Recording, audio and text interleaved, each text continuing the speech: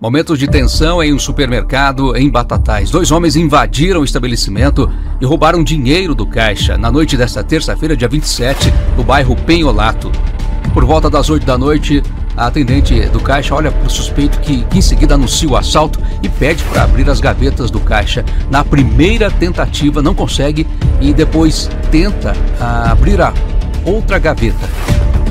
Agora preste atenção nessa cena. O proprietário do supermercado conversa com um dos assaltantes que está de vermelho e quando dá as costas, o bandido aponta uma arma. O proprietário, em um momento de desespero, tenta retirar a arma do bandido, mas não consegue. Uma pessoa ao lado eh, o convence para não reagir mais. A operadora do caixa em seguida libera a gaveta onde o bandido pega o dinheiro. Momentos de desespero, os bandidos fugiram, ninguém ficou ferido. A polícia foi acionada, investiga o caso e está em busca dos suspeitos. A polícia sempre recomenda que o cidadão não reaja a nenhum tipo de violência. Informações que fazem a diferença no seu dia a dia, Rádio e TV Claretiana.